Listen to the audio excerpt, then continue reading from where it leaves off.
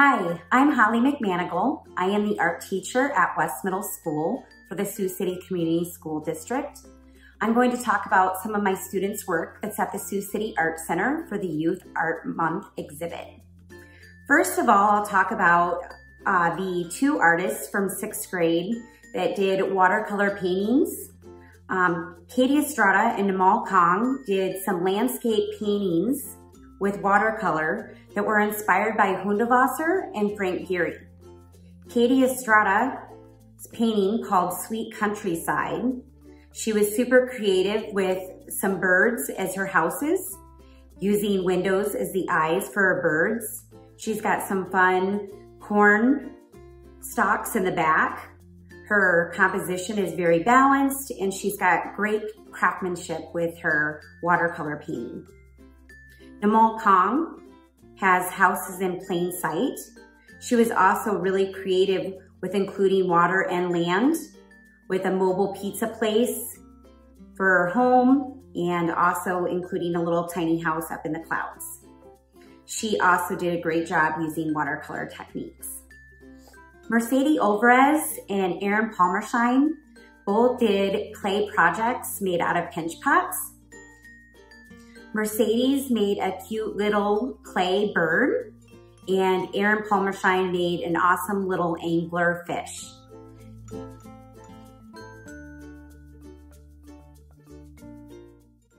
The lesson was that they had to take a pinch pot and make it into some type of animal. And with the way that their glazes came out, they both did a spectacular job. Omar Orozco did a clay vase. His um, vase was called Clay Monster. The assignment was to create a vase with some type of face. Omar was creative with making it into a monster. He has great craftsmanship and his glaze turned out really nice as well. Evelyn Padilla did an oil pastel landscape called Cityscape. This was a silhouette assignment where the students had to take black paper and make some type of silhouette in their landscape. Evelyn did a great job making her cityscape and using different oil pastels to create a cool night galaxy um, scheme. She took it a step further than just the oil pastels. She also used acrylic paint to splatter um, the stars or the galaxy light in the back. Daisy Topetti created a clay slab box titled Save the Turtles. Daisy chose to put a little turtle on the top with some fish and sea creatures along the outside of the box. She also has really nice craftsmanship.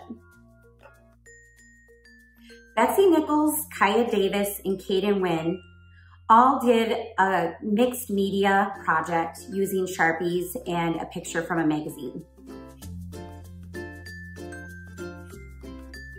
They took a person out of a magazine and cut them out cut their hair off, and glued it down to a paper, giving it a nice balanced composition.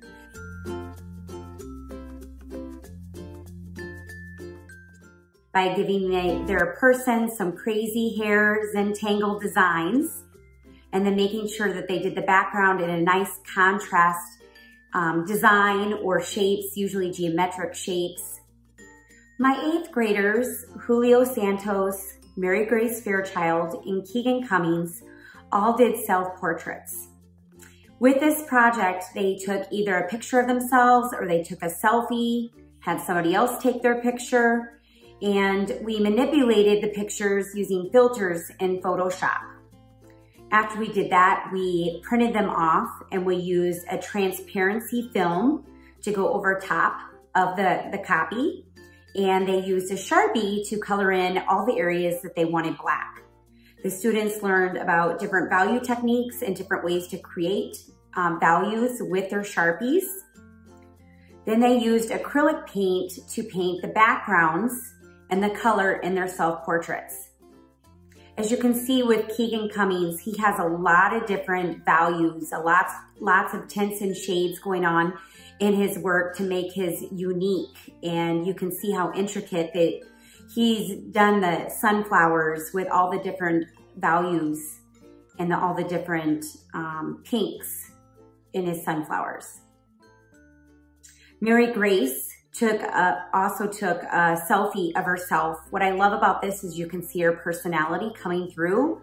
She's done a nice job choosing where to use the Sharpie and where not to use the Sharpie to make her painting look more interesting.